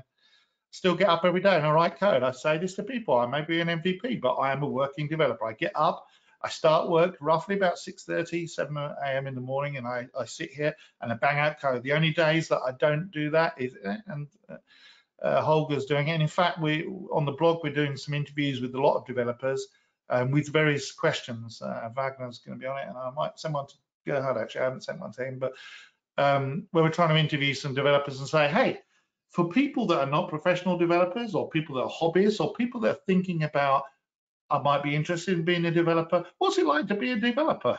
That's part of why these conversations exist to see that we are just normal people and uh, and that you know what our own personal routines are, might be in connection with code and our own personal um, ethos of work ethic is because everyone's different. I know Holger is very different to the way I write code. I write code very differently to um, the way that I'm sure Wagner does it and Gerhard and Jim. Um, but there's no right way Not- to do it. Just And it's- not at six six thirty in the morning. Not at six thirty in the morning. I'm a morning. person. What can I say? I, I, I just back and do anything. But yeah, I mean, that's why I drink so much coffee. But uh, uh, uh, but um, we wanted to kind of, you know, uh, um, draw back the veil on this thing that we do, development, so that when we're talking about things like this, um, you know, you can see that we're real people. This is not fake. This is not a pre-arranged conversation where we've had eight hours to rehearse what we're going to talk about. In fact, most of us just turned up and got on with it. But also, we we haven't polished our demonstrations like some of the Microsoft ones. Occasionally, can be a little bit. You can tell they're super polished. Hey, another cool thing, you know, and, and kind of bugs me. I mean, what they show is great, but the the kind of super polished style of most presentations, not just Microsoft but other people as well, um, can make people have suffer from imposter syndrome where they feel like they couldn't possibly be that good because look at how cool these people are. Those people have had days to rehearse with peers that are ex- experts in their field. This conversational style that we're going for and the questions that we're trying to, the interviews that we're trying to do, are trying to show you that all you people now that are on this uh, webinar are the same as all of the rest of us. We've got a lot of experience because we're old and we've been doing things, you know. uh, apart from Mark knows just a young lad, really. But uh, but we're just developers, and so yes, uh, as someone says here, Paul Blaze, he likes the conversational style. That's what Coffee and the Code is about, um, and hopefully we answer questions on the way.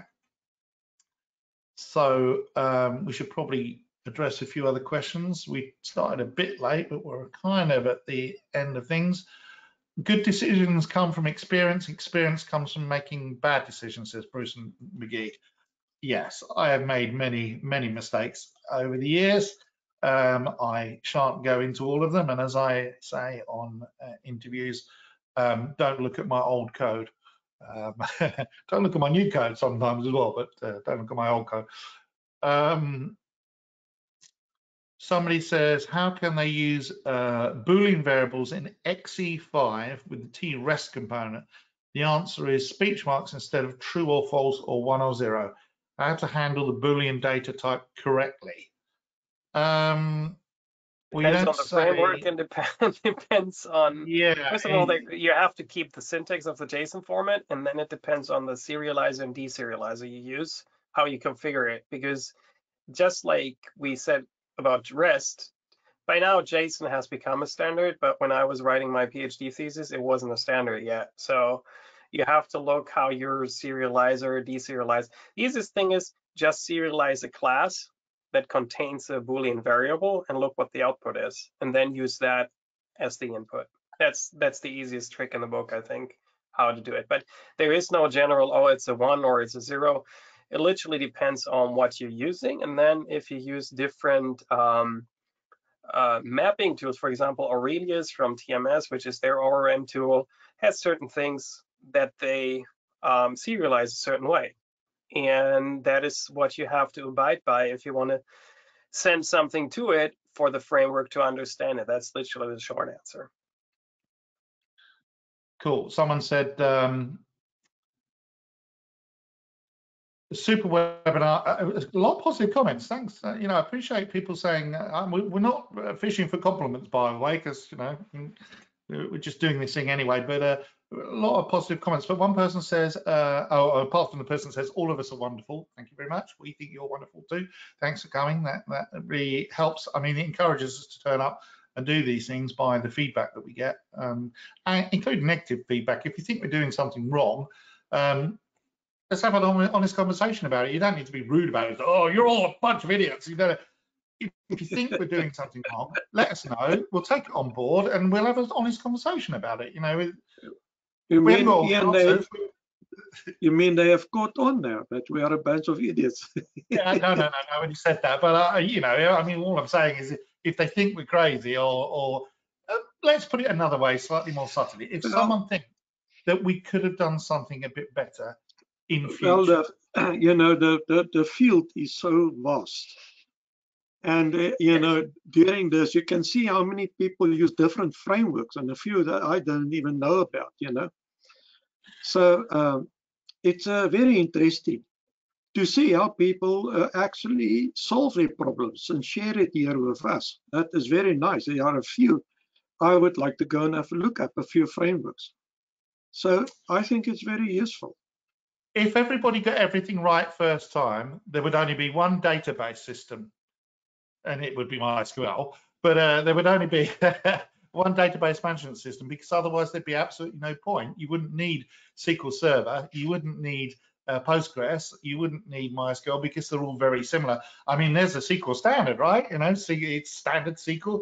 So why have a different database? And the answer is because there's always more than one way to to uh, come to a solution. And actually, all of these um, things have a, a advantages and disadvantages. XData, great middleware. It's got very specific, um, um, uh, you know, like the remote data and all the rest of it. Very, very specific um, uh, benefits. The same as RAD server does as well. But there are other solutions as well. But uh, you know, uh, Holger, you were going to say something about. Yeah, I would like to mention two two things because you're concluding things right now. Because there has been feedback. Uh, hey, we would like more practical hobbyist approach and uh, just building things like Raspberry Pi. So I know three things that are going on. Like the UK user group. You Ian will give me the name of the, of the of the team lead there because I always mix it up with it. I think it's Chapman. Jason, uh, he calls himself Jask, I think. Um, I really should. I think it's Jason Chapman. Yeah, Um, I apologise, Jason, if I've got your name wrong. Uh, even though I'm British, I've lived here long enough now that the uh, the whole uh, uh, Yeah, ownership they- of that group they do changed. long coding sessions and they invite people from Embarcadero. Some some of their streams are like four hours long, and then there is um, Brian Mitov. He's an MVP as well. He has uh, no Boyan, not Brian. Boy- Boyan. Boyan Brian. Brian. He would be a Brian if he was born in the UK. So, so Hello, my name's Brian. All right. Yeah. so he does all kinds of stuff with um, technical stuff. So with Arduino. So very interesting, Boolean. very practical. Raspberry Pi. Boolean. Okay. Sorry, Jim. Boyan is one one of my heroes. The guy is an yes, he, he's hero. amazing, and he does it all. And his stuff is all available. You can look at it. It's it's amazing, and uh, that's that's why he became MVP of the year last year or something. So really deserved. And then I know of um, this name. I'm definitely gonna butcher because it's French. So I'm just gonna say Patrick. Okay. Patrick So he has. Uh, yeah, Prémartin, actually- exactly. He has he has a Twitch stream. He's to tell me or I'm something. saying it wrong So, so he does all sorts of stuff on his Twitch stream. Is it Patrick Belgian or is he French? I apologise, Patrick. I should know the difference. But Yeah, but uh, yeah, there is a difference. Yeah, but uh, and we don't want to be. Um, but he has a Twitch stream. So if you look on Twitch, which is usually for gaming, you know, they have great streaming capabilities. And he has something there with Delphi and and then of course our friend Alister from I'm sure he's from New Zealand. Um, he has like hours and hours and hours of practical stuff on his YouTube feed, but also does like uh, all sorts of stuff. So those are literally the ones that I would like to mention that have like very code-based approaches. And finally, um, we uh, Patrick, Wagner- Patrick is uh, sorry. Patrick is French, actually. I just ah, checked. okay. Yeah. So finally, Wagner and I uh, are to be found on the TMS Web Academy, which is uh, uh, also a learning system where you can learn more about. It's it's going to be TMS based, of course, um, but you will find us there showing code examples and stuff like that live and recorded. But not only uh, Wagner and I are present there, also Bruno, uh, Jalt, and uh, I think Peter also did, did a course. So everything very practical and not as formal yeah. and prepared wanna- as, as, just- as Ian just said, like I just want to mention one question as well because this is a really good question. Someone is saying about an FMX example with uh, AR on Android, um, and then someone saying, "Well, what's AR?" AR is augmented reality, uh, and uh, and it's it's very cool.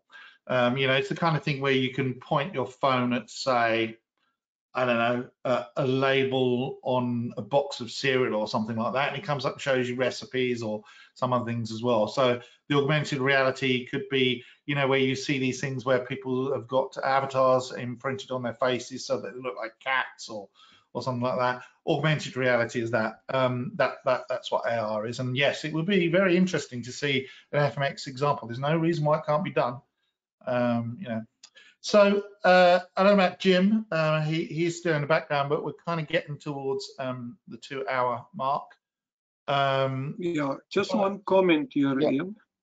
I, Yeah. uh, Yeah, I think for those people, sorry about that. For those people who are using REST, uh, the older compilers, you know, they would find that REST system components evolved a lot towards the new compilers. Really worthwhile to upgrade to the latest compiler to get the full REST capability. Well, there- there's a lot of good reasons, but yes, I mean, I think you're absolutely right. The REST and the JSON uh, libraries as well have moved on a, a lot, I think. Um, Wagner, do you have any final comments that you might have? yeah, I have to go actually, sorry. But Yeah, uh, I, I'm- I'll use my final comments. Thanks, Yeah. thanks guys for inviting me. And thank you all for attending here. And I hope to see you next week. Maybe I'll be here.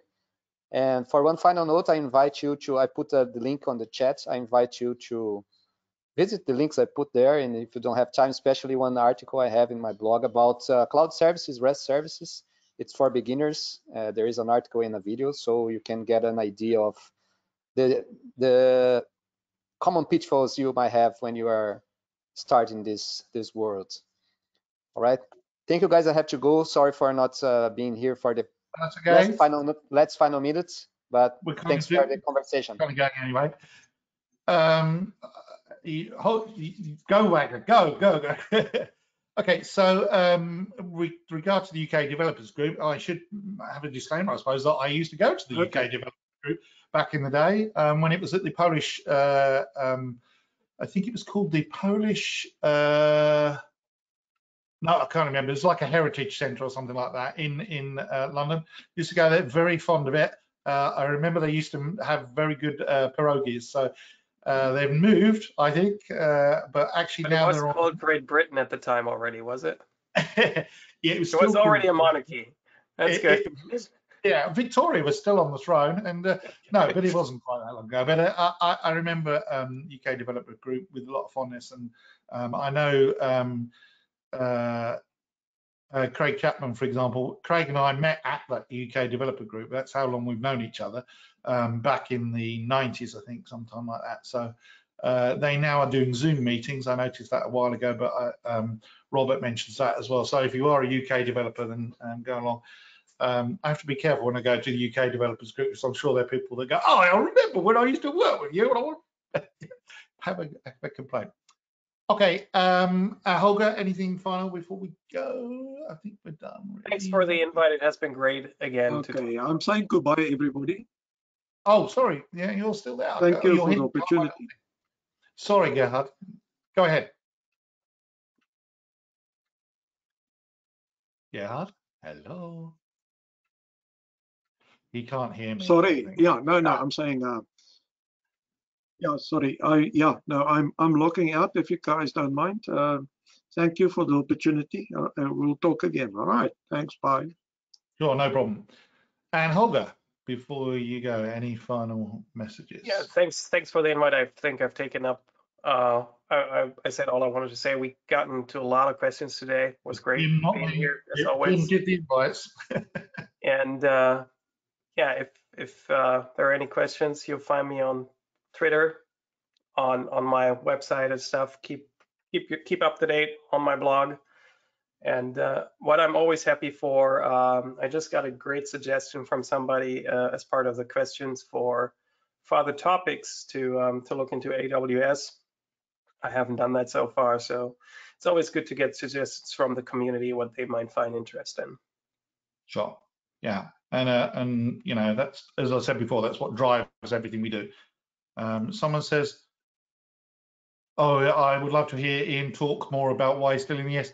Are you crazy? Uh, Do I not talk enough already? okay. Well, uh, thanks everybody. Thanks for attending. Uh, um, we'll see you all next time. In fact, um, Jim will see you all next time. Jim got uh, a bit tied up with a few things today, which is why um, I did more talking than than uh, most, uh, as usual. Um, Jim, are we done? He's probably Yes, disappeared. yeah, sorry, I got tied up in other stuff. Apologies, but you guys are having a good conversation without me, so I figured have that. Oh, poor Jim. I feel really mean now. No, no, it's good, it's good. There's, Okay. uh, there's always, always more stuff that I want to do that I just don't have time to do. So it's good to have, uh, you know, support and other people that help out. So thank you. Yeah, I mean that's what we're here for. That's why we're MVPs. You know, we're here to champion the product. We believe in the product, and and uh, you know our job is to. It's not our job, but you know, it's our our, our desire is to help. Uh, sort of discuss things anyway well thanks very much everybody for attending and thank you for all the thank yous as many of them as we go um Yeah. we'll see you all next time and um, goodbye from holger goodbye from me and jim thank you Bye. Thanks. Bye, everybody.